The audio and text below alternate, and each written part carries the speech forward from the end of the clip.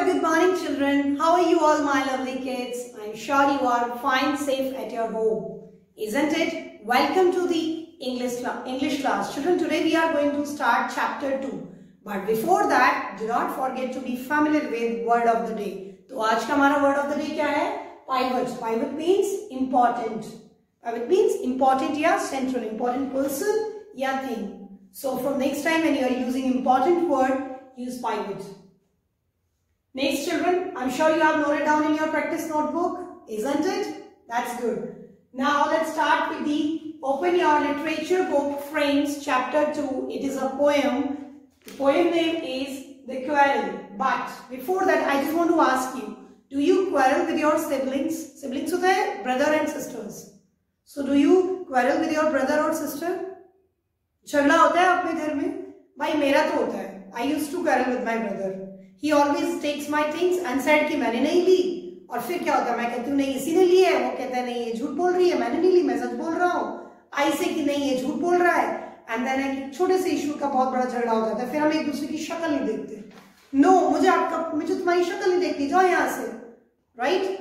होता है ना it happens and just after that after half an hour और one hour brother either he comes back और we say ठीक है, चल, कोई बात नहीं नेक्स्ट टाइम मत come, he'll come to say कि मैंने ही लिया था राइट right? और अब आगे से मैं नहीं करूँगा यू आर राइट कि मैंने ही लिया था। And what will I reply on that ma'am, फिर हम मैं मैं क्या रिप्लाई करती हूँ? ठीक है, अब आगे से मत लेना बिना पूछे, मेरी चीज़ें लेके रख लेता है। Okay and the quarrel is over does it happen with you also children आपके घर में भी ऐसे ही होता है ना? यस बिकॉज़ सिबलिंग्स की जो क्वेरल होती है दैट्स बिटर स्वीट खट्टी मीठी लड़ाई होगी प्यार होगा प्यार होगा लड़ाई होगी राइट तो this is something the poem is related with the poem name is the quarrel तो उसका मतलब झगड़े से है। किसका झगड़ा है? ब्रदर एंड सिस्टर का। Everybody wants to win over the other हर कोई चाहता है कि मैं सामने वाले से ज़्यादा अच्छा हूँ या मैं uh, सामने वाले से uh, जीत जाऊँ right however when you for the person everything is settled लड़ाई क्यों होती है? जब मैं कहती मैं सही हूँ, सामने वाला कहता है कि वो सही है राइट लेकिन क्वारल सेटल कहा होता है? जब हम फॉर फॉरगिव कर देते हैं isn't it so this poem is about a quarrel between two siblings let's start I am going to read it you also put your finger read and understand with me I quarrel with my brother I don't know what about one thing led to another and somehow we out the start of it was slide the end of it was strong. He said he was right. I knew he was wrong. He hated one, we, we hated one another. The afternoon turned black. Then suddenly my brother thumped me on the back and said, Oh, come on. You cannot go on all night. I was in the wrong, so he was in the right. Now, I quarreled with my brother. I don't know what about. One thing led to another and somehow we fell out. Now the speaker is saying that I quarreled and she quarreled with her brother and she was not knowing it that why was she quarreling. And somehow we fell out. Fell out means children quarrel. उनको पता ही नहीं कि वो क्यों लड़ रहे हैं That the start of it was light. और जब जब क्वेरल स्टार्ट हुआ तो इशू कितना था? इतना छोटा सा। बढ़ते बढ़ते थोड़ा बड़ा, फिर और बड़ा, फिर और बड़ा, फिर और बड़ा और बड़ा बन गए क्वेरल बन गए। Right it happens with you होता है ना? ब्रदर्स एंड सिस्टर्स का छोटी सी बात होती है। फॉर एग्ज़ाम्पल अगर आपके भाई ने आपकी चॉकलेट खा ली, उसने पहले तो अपनी तो खाई ली, आपने फ्रिज में रखी, आपके भाई ने आपकी चॉकलेट खा ली। Your brother has eaten your chocolates then you went मम्मा, इसने मेरी चॉकलेट खा ली। एंड ही सिंग नहीं, मैंने नहीं खाई है। नहीं, तू नहीं खाई है। तुझे कैसे पता मैंने खाई है राइट सो एक छोटे से इशू को एक बहुत बड़ी क्वारल में चेंज हो जाता है। फिर हम कहते हैं हाँ मैंने नहीं तुम्हारी शक्ल में से बात करना, मुझे तो बिल्कुल पसंद नहीं है। इजंट इट ऐसे होता है ना? Yes so and after a few minutes क्या होता है? सब शांत हो जाता है। हम फॉरगिव कर देते हैं, ठीक है? And this is what a bitter sweet quarrel ये होती है एक भाई बहन की लड़ाई। तो ऐसे ही विदाउट नो रीजन और एक छोटी सी बात की, एक the end of it was strong और एंड में कैसी बन जाती है?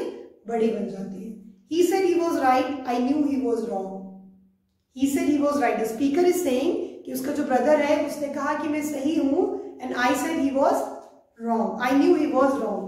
We hated one another. अब लड़ाई हो गई तो एक दूसरे से hate मतलब dislike, एक दूसरे को नापसंद करना। The afternoon turned black. और afternoon कैसी हो गई?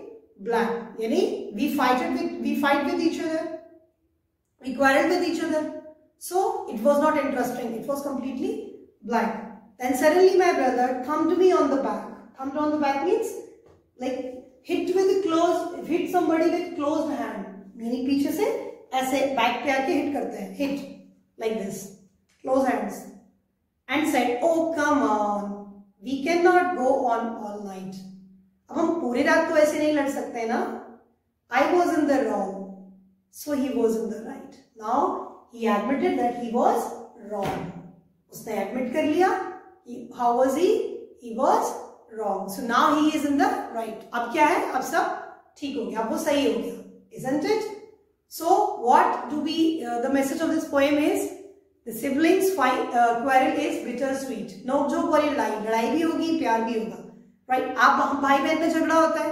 If one of them go somewhere चला जाए कोई मौसी के यहाँ, या दादी के पास, या नानी के पास, दूसरे को नहीं, उसको बुलाओ राइट मन नहीं लगता हमारा। We don't have like we miss that person is it it so we should not fight with it should not be serious we should quarrel with our brother and sisters but we should for forgive them also हमें उनको forgive भी कर देना चाहिए। तो I am sure Shubman you enjoy this poem yes now turn your page we are going to do book exercise आज मैं इसकी पीडीएफ शेयर करेंगी difficult words word bank and writing words तो make sure you will do your work in it in clean handwriting with pencil now let us do the book exercise आज हम इसकी book exercise करते हैं. In in on the next one we will discuss the question answers so start the book exercise here I am having this page there are four questions true and false So A one exercise, question one, question two, question three, and question four.